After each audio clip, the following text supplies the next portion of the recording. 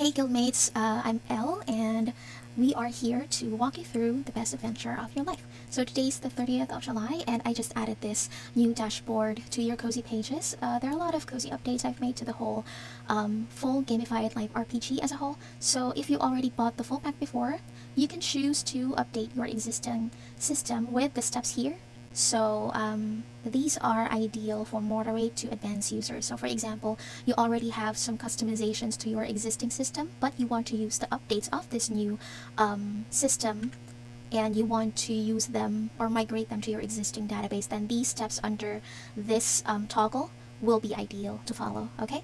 Or if you want a total reset, for example, you want to start your journey from scratch, you can just duplicate this whole template, the whole Tinker room, uh, for example. Um, you can just do duplicate the template and archive the one you are using currently for the current users, okay? So you can also uh, use these steps. So you can use these steps if you wish to use the new database but migrate your old data to the new um, system. So this is a recommended step for newbies to moderate users. For example, um, you have not made any changes or customization on your existing template, but would like to use the updated dashboard, so this whole new dashboard, and transfer your existing data to the new template. So this is very much um, ideal for those who want to keep their progress. So for example, you've already completed some quest, you want to keep your coins, um, you wanted to keep all the progress you've made so far, then these are the right steps to follow. So this is also in the same template, the same page, the Tinker Room. Okay.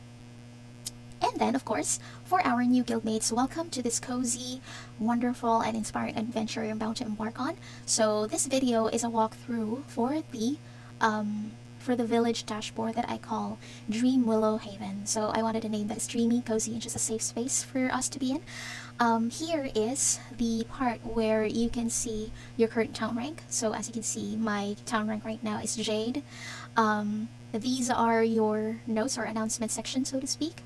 And here on the right side, you can see the um, population, your current population, um, the upcoming birthdays of your characters, and scenarios you need to defeat, how many monsters and scenarios you currently have, and how many you have cleared.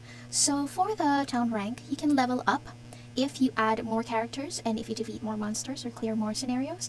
I say clear scenarios because I love Omniscient Reader's Viewpoint so much. Not the live action though, nope. okay, so um, scrolling down, you can see all of these characters, all of these traits. Okay, so uh, these characters are already included in the pre-made template, so feel free to delete some of all of them if you don't want um, some of some or all of these um, characters. Now, as you can see, um, they also have different ranks based on their total affinity points. So the higher their points, the higher their ranks. So right now, uh, the character that I have has a mentor rank. So it's not the highest rank that I have in my database. So this is just um, the current um, highest rank that I have based on their total affinity points. Now, under these Hall of Heroes, uh, here are or here are some of the characters or the characters here will show up um, once they've cleared some of these scenarios with you. So um, the highest or the higher number of cleared scenarios they have, um, they will appear here on top, okay? So your stats are actually your traits and skills. It's still the same for our um, fellow um, guildmates uh, who have bought the full pack before. It's still the same. You level up and gain XP and coins if you learn something new, or if you do quest related to this particular trait or skill. Now going down, as you can see, I added the phrase here, you have reached level 4 of understanding this character. Again, because ORV, or Omniscient Reader's Viewpoint, is one of my inspiration in creating this template. And going further down, I have uh, a note section where you can bring down all your ideas, all your to-dos, anything goes, really. So here are the quests so for my fellow old questers, uh, this is the same database with a few tweaks. And one of uh, the tweaks, or some of the tweaks I've made, I will show you later. Um, it's also in the detailed instructions I've showed you earlier. Okay, and now to the meat of the thing. so this is my version of a game dungeon, which I call Twilight Cavern. I don't know, uh, it just sounded fancy and cozy, so I called it that. okay, so here on the left is your level. Um, when you drop this down, you can see your current level, um, the current HP and MP stats for your avatar. And on the right side, you can see the monsters and uh, scenarios that you're about to defeat, okay? So how it works is every time you hit strike this button right here, it will show you the damage that you've dealt and the damage you've taken. So the scenario will be cleared once their HP is depleted. Okay, as you can see here, the HP is already at negative 1. So even if the villain still has some MP left, the scenario the scenario will still be cleared. Okay, because as you know, you know they're dead. they're dead. They no longer have any HP. So uh, as you can see, uh, there's a deadline on when you should clear this scenario, the the quest that you should complete, the skill that you should be using. Use the skill, and the companion you want to clear the scenario with uh, the rewards you'll gain and the penalty that you will incur if you fail to defeat this scenario. So as you can see, I've already defeated or cleared this uh, scenario. Um, if you're wondering about the character name, it's just one of the character that I really hated in one of the webtoons I was reading. She's one of the villains in I Shall Be the Matriarch webtoon. I really recommend for you to uh, read that. It's actually fun. The female leads are very, very smart, and it's also one of the. Um, I also have some of their characters here in this template. So, okay, so moving on. Um, as you can see, um, you have the rewards, you have the penalty. I've already cleared the scenario, so of course, I already have or gained these items as a reward. I have 800 coins and I will be able to have these items for free from my mall. You can now claim it for free from your mall. So, um. I love how neat this uh, mechanism works because even in the first version of this gamified template, I kept thinking on ways on how to use the MP and the HP bars I have. I thought, yeah, I have full bars of them, so what? so I've never bought a single, single HP potion. So as you can see, these items here, I have them since the beginning and now I will have a reason to use them once I am uh, depleted of my own HP, so yay! it's basically a first world problem where I have too many coins to spend and I don't know where to spend it. I even downgraded some rewards I received uh, from my quests from earlier because I feel like I get too much. so uh, now I added a lot of items to my mall, like gears, spells, I, uh, oh, as you can see here, I already have this item for free. Now I can discuss that later. I'll show you some of my items from my mall. So I also have affinity gifts and I have upgrades. Yeah. Okay, so for the upgrades, I have them and I can buy them and then give them to any of my favorite character anytime I want. So uh, you can see the stats of the gears. So these are the stats of uh, the, the powers basically of this gear. And um, yeah, the power of the spell, and you can also see the affinity points uh, worth for any of these gifts, right? So scrolling down, uh, we can see another brain dump section. I honestly just create these things, uh, these note things to fill up the space, but as always, you can customize this according to your needs. So on this right, um, these uh, this is the navigation section where the database, all of the database in this dashboard are here as your quick links. I made another tweak to my visual habit streak, so I made it like look like a flower garden where every time I complete a quest habit, a flower appears. So every completed quest is a flower.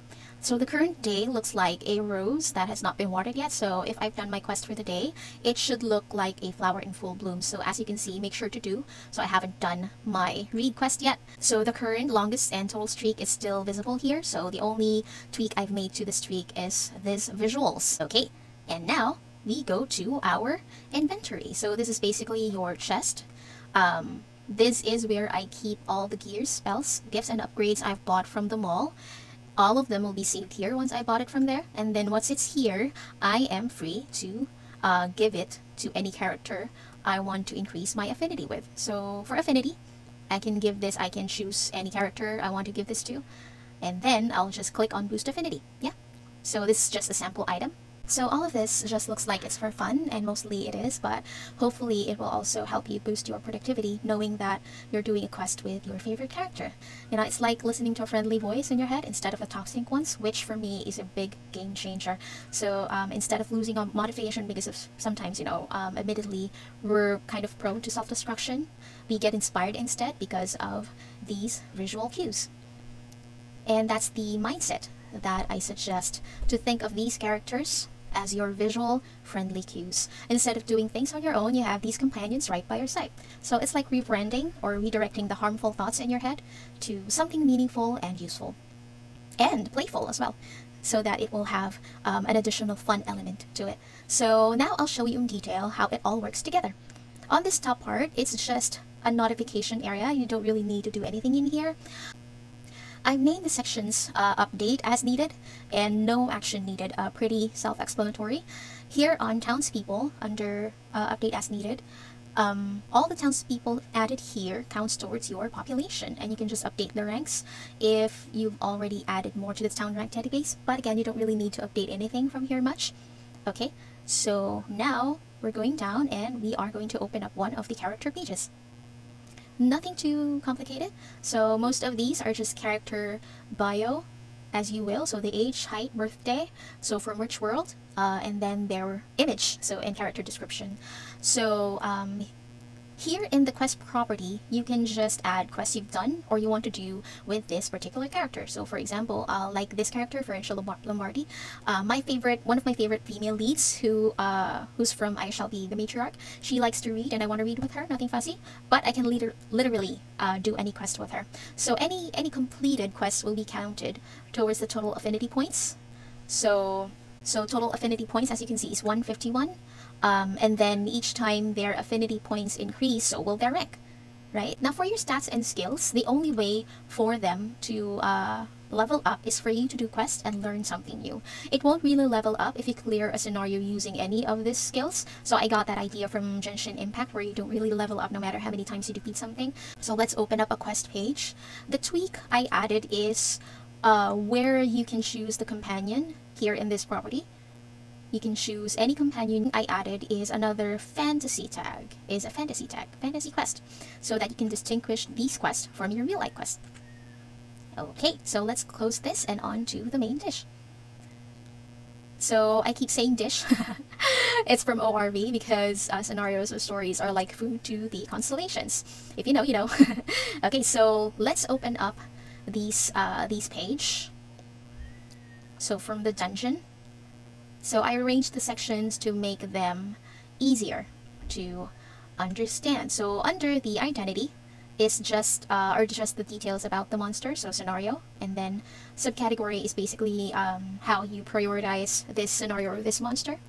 And then from this monster power, attack points uh, refers to the points they will deduct from your avatar's HP each time you hit strike. Okay, and then magic attack refers to the MP they will deduct from your avatar. So attack is equals to HP, and magic attack will be the MP, right? Okay, so monster life force, this is basically the health of this scenario or this monster. So you can enter any numerical value, like the monster powers. Under conditions to defeat are merely prerequisites before you clear this scenario. So for example, you have to complete this quest first.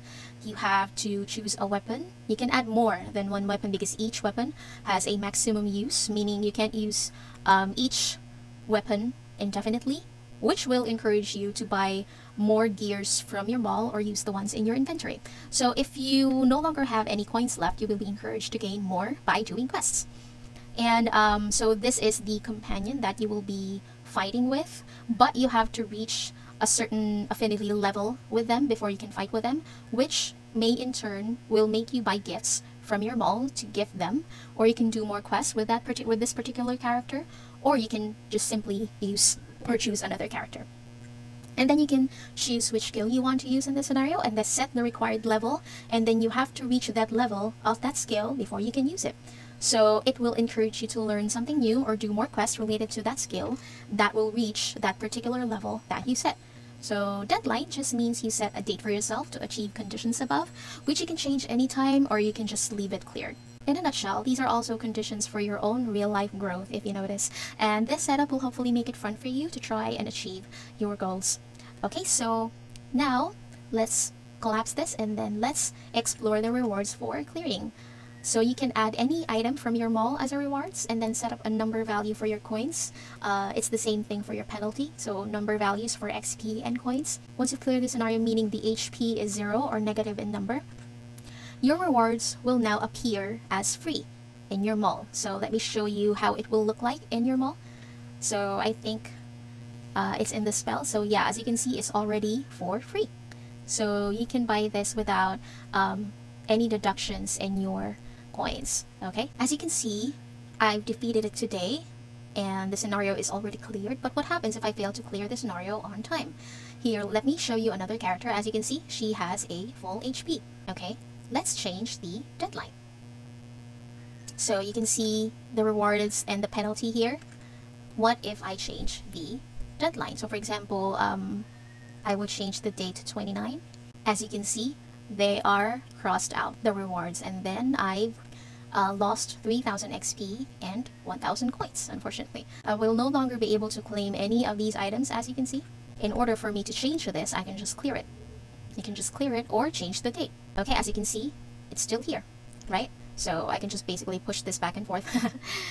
what happens if I clear the scenario past the deadline? As you can see here, I've already cleared the scenario. What happens if I change the deadline?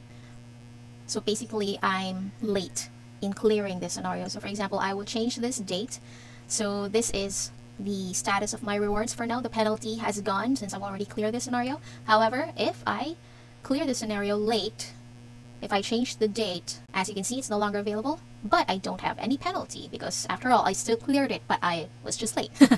okay, so I can just change the date for this since I've already cleared it and it will go back to the same thing, right? Okay, so anytime you wanted to clear scenarios, make sure that the date is um, further than the current date, or you can just leave this cleared, honestly. okay, so, and then we can go to visit our inventory. Now, here's how the inventory looks like right now. So you can change anything from its original value after you bought from the mall. So here's how it works. Um, whether it's a gear, spell, upgrade, or affinity gift. Under powers though, uh, these are the um, basically the stats of your weapon. So attack is equal to HP. So basically every time I strike a monster, I will deduct 200 points from their HP each time. So the defense or def refers to my avatar's HP. Uh, so every time the villain strikes back, for example, he has an attack power of 100, he should be able to deduct 100 from my HP because this is blank. So I don't have any defense, I don't have any protection.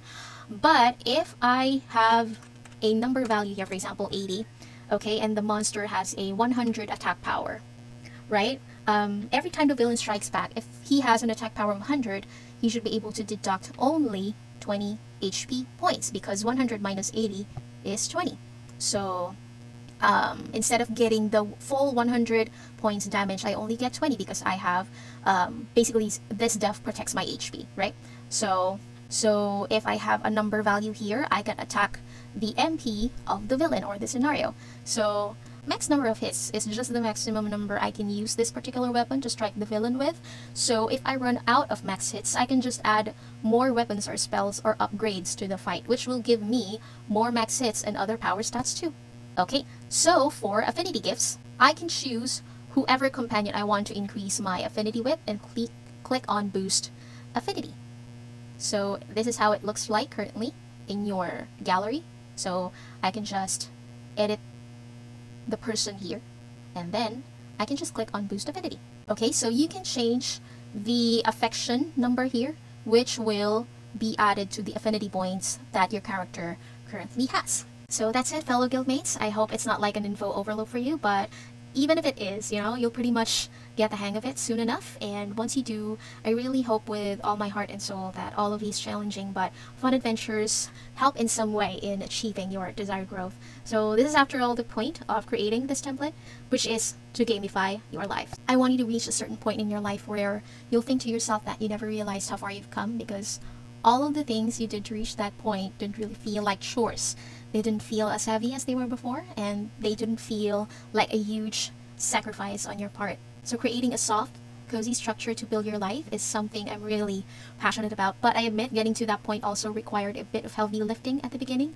But I realized eventually all the heavy lifting became worth it. And I hope this pretty and functional dashboard help you get to that ideal headspace where contentment and peace is abundant within yourself. So thank you so much again. Let me know which part excited and inspired you the most and see you on my next cozy video.